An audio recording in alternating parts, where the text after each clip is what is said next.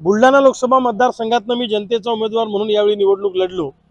निवडणुकीच्या काळामध्ये एक गोष्ट जाणवली की प्रस्थापित राजकारण्यांबद्दल प्रस्थापित पक्षांबद्दल लोकांच्या मनामध्ये राग आहे. नेते एका बाजूला होते आणि जनता एका बाजूला होती असं सर्वदूर चित्र या निवडणुकीमध्ये दिसलं. प्रस्थापित राजकारण्यांच्या बद्दल लोकांच्या मनामध्ये घृणा आहे. आणि म्हणून या महाराष्ट्रामध्ये एक नवा पर्याय देण्याच्या अनुषंगानं मी स्वतः महाराष्ट्राचा दौरा करणार आहे. प्रस्थापितांच्या विरोधामध्ये विस्थापितांची मोठ बांधणं वंचित घटकांना सर्वसामान्यांना एकत्रित करणं तरुणांना महिलांना तरुणींना एकत्रित करून या महाराष्ट्रामध्ये नवीन पोरं राजकारणामध्ये आले पाहिजे नव्या दमाचे लोक राजकारणामध्ये आले पाहिजे अशी भावना माझ्या मनामध्ये आहे आणि मी अनेक तरुणांना घेऊन या महाराष्ट्राचा दौरा चार जून नंतर लवकरच करणार आहे. दौऱ्याची सुरुवात बुलढाण्यातूनच आम्ही करणार आहोत. आणि जसं अरविंद केजरीवालांनी एक नवा पर्याय दिल्लीच्या राजकारणाला दिला पंजाबच्या राजकारणाला दिला तसा एखादा नवा पर्याय महाराष्ट्रामध्ये आपण देऊ शकतो का? याच्यावर आमचा विचार विनिमय सुरू आहे.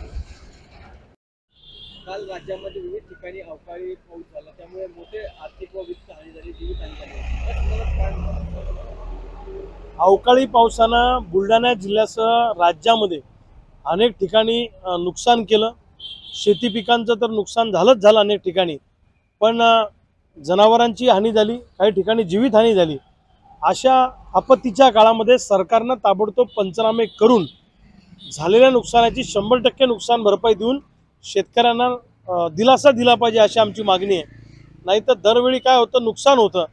आमदार खासदार येतात फोटो सेशन करतात आणि त्याची पेपरला एखादी बातमी येते पण नंतर त्या लोकांना काही मदत मिळत नाही.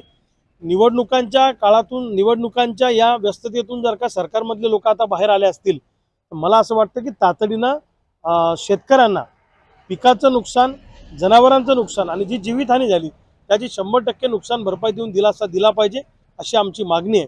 मी स्वतः काही भागाचा दौरा आता करणार आहे आणि जर का सरकारनं ताबडतोब नुकसान भरपाई दिली नाही मग ताब सरकारच्या विरोधामध्ये मोठं आंदोलन आम्ही उभं करणार आहोत.